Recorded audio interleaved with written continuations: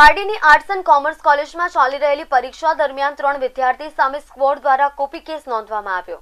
પારડીની JP Pardiwala arts and commerce કોલેજમાં Veer Narmad south Gujarat યુનિવર્સિટીની પરીક્ષા છઠ્ઠી માર્ચથી ચાલી રહી છે. ત્રણ સેશનમાં ચાલતી આ બીએ બીકોમ અને એમએની પરીક્ષામાં સુપ્રિન્ટેન્ડન્ટ તરીકે જીતેન્દ્રભાઈ ટંડેલ, ફાલ્ગુનીબેન તેમજ દલીપભાઈ ફરજ બજાવી રહ્યા છે. આ પરીક્ષા અઠ્ઠાવીસ એપ્રિલ સુધી ચાલશે. બીએ સેમિસ્ટર ટુની પરીક્ષા દરમિયાન પેપર પૂર્ણ થવાના પાંચ મિનિટ પહેલા સુરતની સ્ક્વોડ ત્યાં ત્રાટકી હતી, જેમાં એક વિદ્યાર્થીના ખિસ્સામાંથી કાપલી મળતા કેસ કર્યો હતો. ઉપરાંત સોમવારે પણ પેપર શરૂ થયાના પંદર મિનિટમાં સ્કોડ આવી ગઈ અને બીકોમના બે વિદ્યાર્થી કોપી કરતા ઝડપાઈ ગયા. આમ પારડી કોલેજમાં ચાલતી યુનિવર્સિટીની પરીક્ષામાં ત્રણ વિદ્યાર્થીઓ સામે અત્યાર સુધીમાં કોપી કેસ થઈ ચુક્યા છે.